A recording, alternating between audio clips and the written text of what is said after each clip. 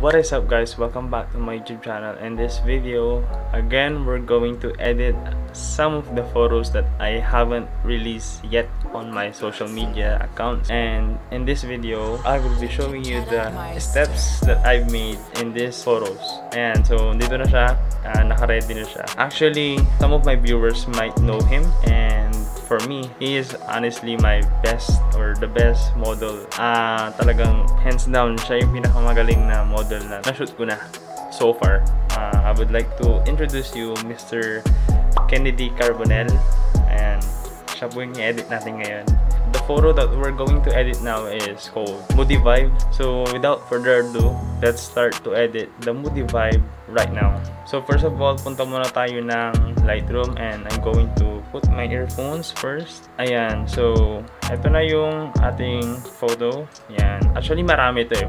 100, 100 photos ate eh. But this one is for me the perfect one kasi talagang uh, tignan natin kung ano may kalabasan. So first of all, again, uh, basic settings, exposure, start na natin. Ayan, exposure and contrast. Let's give it a little contrast. Yan hindi hindi na, hindi ito yung ano eh hindi ito yung um, night vibe or low light photography. Yan highlights. Hindi natin siya a little bit yan shadows. Hindi natin shadows. Yan whites. Yan hindi natin pero para siyang brightness. Yan wag natin i-blow up kasi talagang blown up na lahat. Ayan tama lang. Black. Ayan. Wag muna. Wag natin isagad. Ayan sa mga hindi nakakalam ng histogram histogram ito yan. Uh, this one dito itong part na yan yung sa left that's the black. And then sa right naman is the highlights or the yan highlights.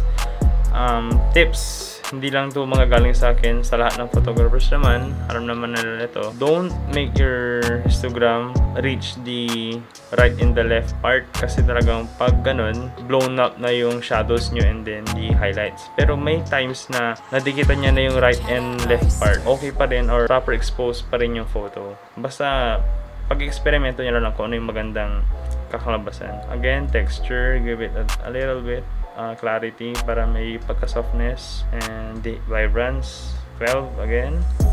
7 okay na yan. Alright so from this to this adjust natin yan mamaya. Again sharpness nung last tutorial ko. Ayan sa 38 lang. Ayan. Noise reduction hindi na masyadong kailangan kasi daylight to. Yun saturation luminance alam nyo na yan adjust natin ng greens. Ito yung favorite part ko eh. Greens. See?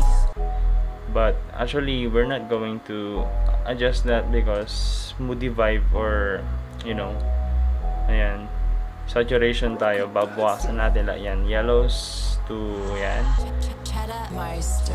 We will justify his black, ano, black dress or, yeah, yung outfit niya. Yan, orange. Yan. Yan, dyan na tayo. Dito na papasok yung sasabi kong sa skin tone. Orange is the nearest color to our skin.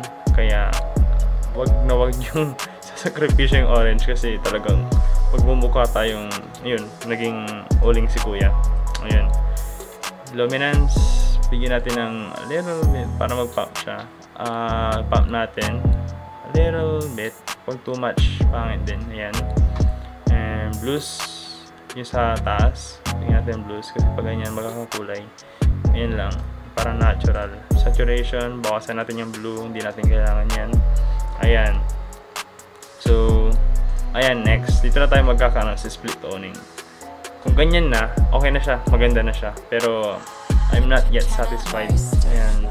Again bump the saturation para makita nyo yan this is a brownish or yellowish vibe ito naman sa shadows, lagay natin siya sa blue.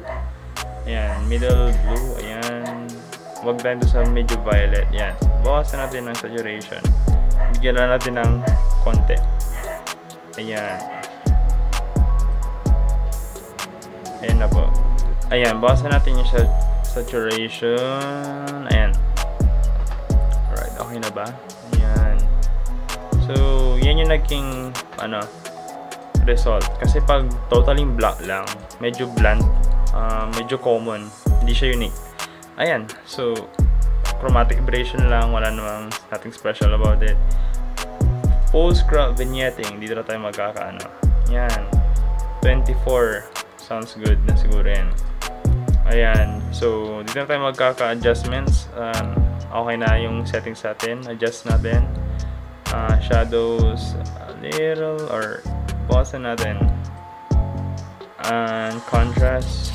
Ayan. Highlights blown up, nope. Yan, tama lang. Black. Pag natin yan sa black kasi hindi na makikita yung pagka-black sa damit niya. Uh, as in, totaling total black ngayon. Pangit naman. Hindi na makikita yung details sa damit ni Kuya.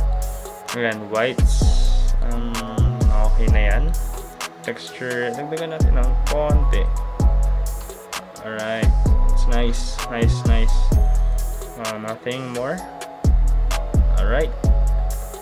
So, that's it for this video. Tapos na natin edit yung moody vibe ni Kuya Kennedy. And see you in my next Lightroom tutorial. And yeah, if you like this video, please like, comment, share, and subscribe. See you guys next time. Meister.